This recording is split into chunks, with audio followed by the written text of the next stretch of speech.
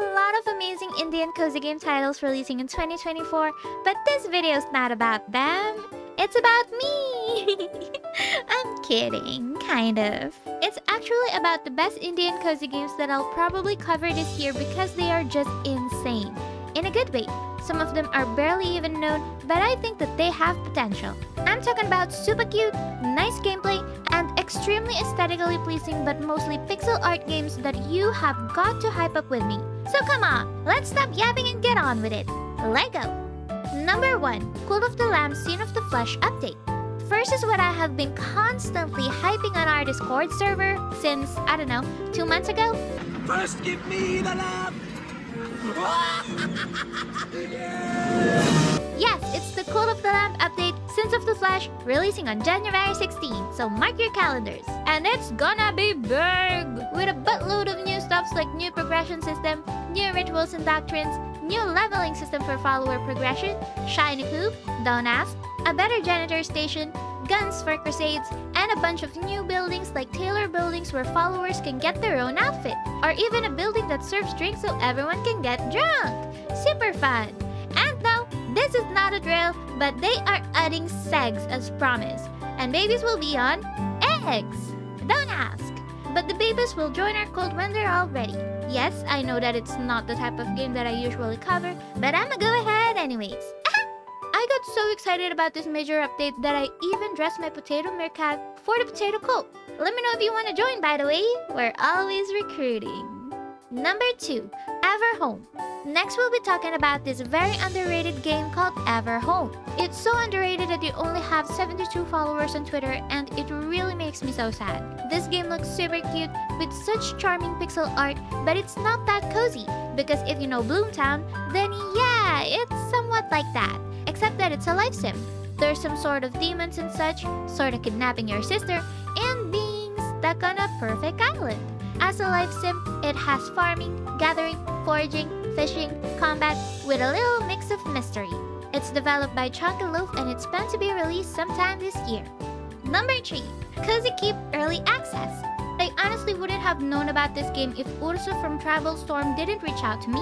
I am super glad that they did because I genuinely enjoy the game. So thank you so much Ursa, and for giving me a key too. Cozy Keep is a medieval shopkeeping game with survival, life sim, and crafting elements. We get to work our butts off so we can pay our father's debt. That's why we have to gather resources to craft some stuffs that could improve our tavern, pat the cat, do trades with merchants, pat the cat, farm, survive, and don't forget to pay the debt. And of course, pat the cat. This game is planned to be released on early access in quarter 1. Number 4. Space Chef. This is a 2D open world action adventure where we get to explore alien planets, harvest exotic ingredients, and cook cosmic cuisine. We even get to craft bots to automate our tasks, customize our base, fight off space pirates, and many more. Space Chef is an interesting take on management, cooking, and exploration games. It's developed by Blue Goo Games and it's planned to be released sometime this year. Number 5. Neko Odyssey. I've already talked about Neko Odyssey on my previous video, but that won't stop me from talking more about it. Yep, I am that excited for this game. This game is about cats, cats, cats, and more cats. We get to take pictures of them chunky pixel cats, upload it on social media, earn likes from NPC netizens, and get random tips on cat locations. And we just keep going until we find them all. It's developed by Secret Character and it's planned to be released sometime in 2024. Number 6. Bloomtown. Another one that I previously talked about in this video is Bloomtown. I had the privilege to play the closed alpha playtest of this game and it was great.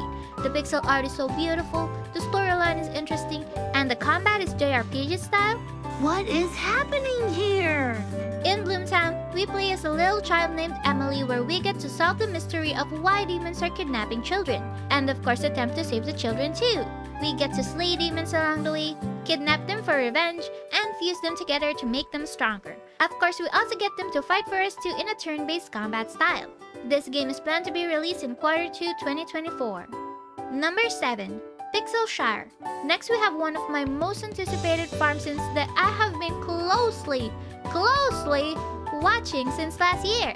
Pixelshire is a community life sim RPG that mixes life sim elements with town building, combat, and exploration.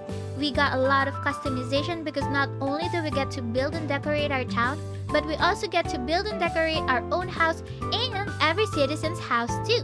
We can also invite the citizens on our daily adventures to aid us in foraging, exploration, and resource gathering. It's developed by Kappa Bits and it's supposed to be released last year, but it was pushed to this year so that they can further polish the game. And I just love that, you know? The devs are making sure that the game is really ready to deliver us the best gaming experience. So yes, Queen, take your time. Number 8. Fields of Mistria. Now this game has got the aesthetics that I am super drawn in. Just look at that! The NPCs look like those shoujo characters that I used to watch and read when I was a child. And everything about it is just so adorable. They are so correct for adding that cute tag on Steam. This game has everything that a farm life sim has, like combat, romance, magic that we can use on our farm, animals and breeding, and many more. It's developed by NPC Studio and it's planned to be released sometime this year. Number 9. Dream Tactics. Here's another super underrated game that barely has any following on social media. It's a tactical turn-based card battler RPG where you can pick your own party, prepare a deck of cards, and slay a lot of annoying pillows in the dream world. There are about 100 cards to choose from and strategize with, and you can customize each deck however you want to. You can trade cards between characters, equip as much items as you can to boost their stats, recruit more characters to join your party, and many more. I swear, this game needs more attention because I truly enjoyed the demo and you should definitely try it out too if you like card battlers or turn-based RPGs. Merch powered by Spreadshop? You can choose from many items like stickers, beanies, hats, hoodies, shirts, sweaters, and many many more. You can even edit the designs if you want it bigger, smaller, or even add your own little caption. So check them out at my Spreadshop below. Now here are 7 more games that I don't really know when they will be releasing, but they also deserve more love and hype. Number 10. Wish Upon a Llama. Just like Fields of Mistria, this game's color palette is so on point. I love those adorable pastels.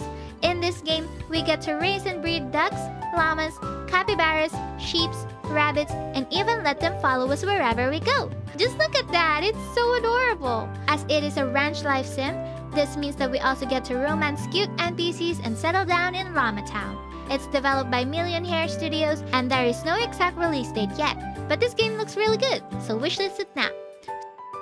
Number 11. Little Known Galaxy. A fresher take on Farm Life Sims is Little Known Galaxy, where we play as a space captain in training for the Space Alliance, and we should do our best to survive in space while on a mission to solve the mysteries of an ancient relic from another planet. We get to build relationships with our crew, farm for survival, cook, explore planets, raise adorable aliens, and many more. It's developed by Carbon and K, and the devs are currently working on a demo for us soon. Thank you, devs! Number 12. Call of Boba. As a big fan of management RPG, indie, and pixel games, the very underrated game called Call of Boba is also on my radar. It's a cute simulation roguelite RPG where we have to save our struggling milk tea shop, battle enemies using our milk tea ingredients, fish, complete town quest, and build relationship. This game is developed by Tomatoes. Number 13. To Pixelia. Next is my latest obsession, To Pixelia. It's the perfect mix of The Sims and GTA. In To Pixelia, you can be everything you ever want to be. You can be a rock star, a farmer, a basketball legend, an underground boxing fighter, a hacker, a burglar, or even the president. Or maybe you can be everything at once. In Pixelia, everything also has a minigame. You will never run out of things to do in this game. If you want to know more about it, then check out this video where I covered what the exclusive alpha version currently has. Now the last two are both from everyone's favorite indie farm sim developer, ConcernedApe. I won't yap too much about this because it might take us 5 years to finish chatting and hyping about it. And I'm sure that you're already updated about these games too, so... Number 14. Haunted Chocolatier. While we don't know much about this game yet, except that it'll be an awesome game about running a haunted chocolate shop, a bunch of foraging, RPG, romance, and ghosts, it will probably be a while till this game releases, but that's okay. It's gonna be great, so let the legend cook. This game was first announced by CA on October 8, 2021, and he has been updating about this game at the official blog. So if you want to really read about every bit of update, then I've left the blog's link in the description for your stocking needs. You're welcome, my friend. Number 15, Stardew Valley's 1.6 update. Lastly, of course, I'm most excited for the big Stardew Valley 1.6 update. Who isn't excited for this? Come on! There's gonna be a lot of new stuffs, and what we know for now is that we're getting new festivals, additional late game content, new items and recipes, Joja alternatives, a hecking lot of new dialogues, winter outfits, new farm types, new secrets, and probably a hecking lot more. We never know because ConcernedApe loves to surprise people, and I am ready to be surprised. But that's about it for now. So did you get to hype up with me? Blink once if you did, and blink twice if you did it. Did you blink? No? Okay, fine. Just let me know in the comments. And super thanks to the kindest people on the interwebs, my lovely channel members, for your support as always. And for anyone who wants to join the cult of the potato, then like and subscribe for more Indian cozy game stuff is coming your way. Bye bye!